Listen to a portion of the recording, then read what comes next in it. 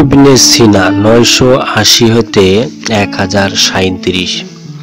চিকিৎসা শাস্ত্র এবং চিকিৎসা বিষয়ক ইতিহাসের এক নক্ষত্রের নাম আবু আলী হুসাইন ইবনে আবদুল্লাহ আল ইবনে আল হাসান ইবনে আলী ইবনে সিনা। তবে বিশ্বজগতে তিনি চিকিৎসা বিজ্ঞানের দিকপাল হিসাবে ইবনে সিনা নামে সুপরিচিত। নয়শো আশি সালে বর্তমান ইউবেকিস্তানের বুখরা অঞ্চলে আফসান গ্রামে বাবা আবদুল্লাহ এবং মা মা সীমারার কোলজুড়ে পৃথিবীতে আগমন ঘটে ইবনে সিনার। বাল্যকালেই তার বিরল প্রতিভা ও প্রখর স্মৃতিশক্তি সবাইকে সম্মোহিত করে। মাত্র দশ বছর বয়সে ইবনে সিনা পবিত্র কোরআন মুখস্থ করে হাফেজে পরিণত হন। মুহাম্মদ মাসাহি নামক এক ভারতীয় পণ্ডিতের কাছে তিনি অঙ্কশাস্ত্রে দীক্ষা লাভ করেন। এছাড়াও তৎকালে যারা চিকিৎসা প্রদান করে, চিকিৎসা প্রদান করে রোগীদের আরোগ্য লাভে সহায়তা করতেন বা শিশুদের শিক্ষাদান করতেন, তিনি তাদের শিষ্যত্ব গ্রহণ করে অনেক বিষয়ে জ্ঞান লাভ করেন। অন্যদিকে ইসলাম ধর্মের অনুরক্ত এবং সুন্নি মতবাদে বিশ্বাসী বিধায় ইসলামী বিচার ব্যবস্থার সমাজরীতি ও ফিকা শাস্ত্রেও তিনি বিশেষ জ্ঞান লাভ করেন। বরাবরই তিনি ছিলেন অনুসন্ধিত অনুসন্ধিত সুমনের অধিকারী। তাই দর্শন ও যুক্তির পেছনে তিনি অনর্বত ছুটেছেন। কথিত আছে যে গ্রিক দার্শনিক অ্যারিস্টটলের একটি বই তিনি চল্লিশ বার পড়েছেন অর্থ বোঝার জন্য। কোনো কোনো বইয়ে বারবার পড়তে গিয়ে বইয়ের অক্ষরগুলো মুছে গিয়েছিল বলে প্রচলিত আছে। জ্ঞানের একাধিক শাখায় বিচরণ করলেও চিকিৎসা বিজ্ঞানের প্রতি তার ছিল বিশেষ আকর্ষণ। তাই ষোলো বছর বয়সেই তিনি চিকিৎসা চিকিৎসা বিজ্ঞান চর্চার বিষয়ে মনোযোগী হন। মাত্র আঠারো বছর বয়সেই একজন চিকিৎসক হিসেবে আত্মপ্রকাশ করেন। চিকিৎসা বিজ্ঞান তার কাছে অঙ্ক কিংবা দর্শনের চেয়ে সহজ মনে হতো। তাই দ্রুতই তিনি প্রচলিত চিকিৎসা পদ্ধতি রপ্ত করে রোগীদের সেবায় নেমে পড়েন। একজন প্রসিদ্ধ ডাক্তার হিসাবে তার সুনাম অল্প সময়ে দ্রুত ছড়িয়ে পড়ে। তথাপি তিনি অজু করে রাতভর লেখাপড়া করতেন আর দিনভর বিনা পয়সায় রোগীদের সেবা করতেন। চিকিৎসক হিসাবে সুনামের কারণেই তিনি দ্রুত প্রশাসনের নজরে আসেন। এ সময় তিনি ইরান তাকি Tajikistan Uzbekistan Kazakhstan Afghanistan, Pakistan প্রভৃতি অঞ্চল নিয়ে গঠিত তৎকালীন সামান্বিত সামান্বিত সাম্রাজ্যের প্রধান চিকিৎসক নিযুক্ত হন এবং সাম্রাজ্যের আমির বিরানব্বই বছর বয়সী মুহুর ব্যক্তিগত চিকিৎসক হিসাবে তাকে এবং দুরারোগ্য রোগ থেকে পরিত্রাণ পেতে সাহায্য করেন।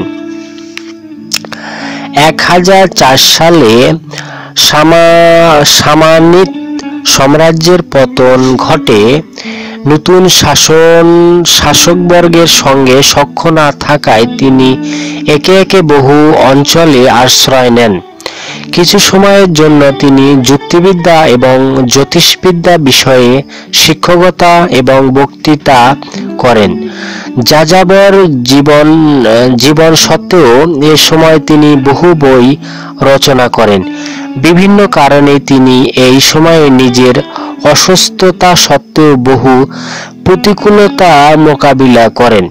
প্রতিকূল পরিবেশের কারণে তাকে আত্মগোপনও থাকতে হয়। প্রায় বিশ বছর পর এমন বিচ্ছিন্ন ও বিদ্রুপ পরিবেশের অবসান হয় এবং তৎকালীন বৃহত্তর ইরান পারস্য অঞ্চলের প্রতিষ্ঠিত কুকাইত সাম্রাজ্যের শাসক মোহাম্মদ ইবনে রুস্তম দুশ্ম দুশ্মন জি আর একজন চিকিৎসকের চিকিৎসকের মর্যাদায় ইবনে সিনাকে কাছে টেনে নেন।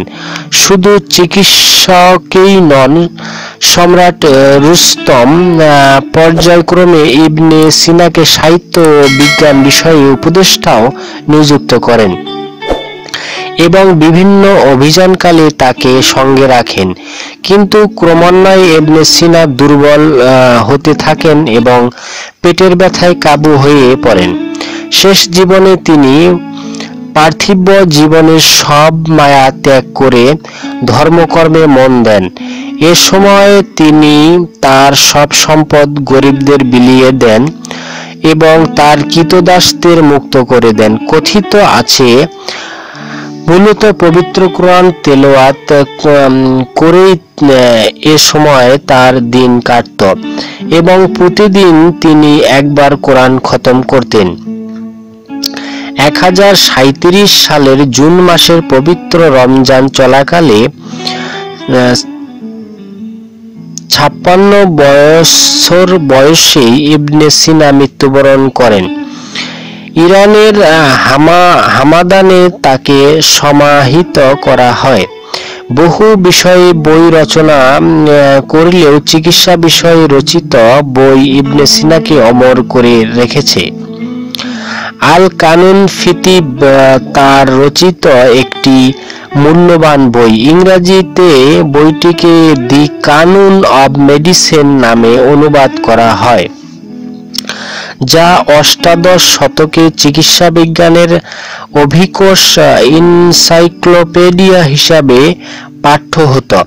ভেষজ চিকিৎসার ক্ষেত্রে আজও এই বইটি মূল্যবান অবদান রাখছে। চিকিৎসার বিষয়ে ইবনে সিনার মতবাদ, বিশেষত বিরল রোগের নৈপথ্য প্রকৃতির কারণে তত্ত্ব আজও আলোচিত হয়। চিকিৎসা বিজ্ঞান ছাড়াও মৃত্তিকা মৃত্তিকা বিজ্ঞান, ভূগোল বিজ্ঞান, দর্শন, বিজ্ঞানের দর্শন, যুক্তিবিদ্যা, পদার্থবিদ্যা ও মনোবিজ্ঞানের মতো গুরুত্বপূর্ণ বিষয়ে তিনি বহু বই ও তত্ত্ব লিখে গেছেন, যা পৃথিবীর মূল্যবান সম্পদ। জ্যোতিষবিদ্যা কিংবা রাসায়নের মতো জটিল বিষয়েও তার বিচরণ ছিল। অন্যদিকে তার কাব্য প্রতিভাও ছিল ঈর্ষণীয়। ইবনে সিনার নামে পৃথিবীর বহু দেশে মেডিকেল কলেজ, ঔষধ প্রস্তুতকারী প্রতিষ্ঠান, ফার্মেসি, ছাত্রাবাস প্রভৃতি নির্মিত হয়েছে। বিভিন্ন দেশে ডাকটিকিটেও তাকে খুঁজে পাওয়া যায়। অস্ট্রেলিয়ার দপ্তরের ইবনে সিনার ভাস্কর্য ঠাঁই পেয়েছে। তার একটি বিখ্যাত উক্তি হলো, এই দুনিয়ার লোকেরা দুই দলে বিভক্ত। এক দলের ধর্ম নেই, কিন্তু বুদ্ধি আছে, আর এক দলের বুদ্ধি নেই, কিন্তু ধর্ম আছে।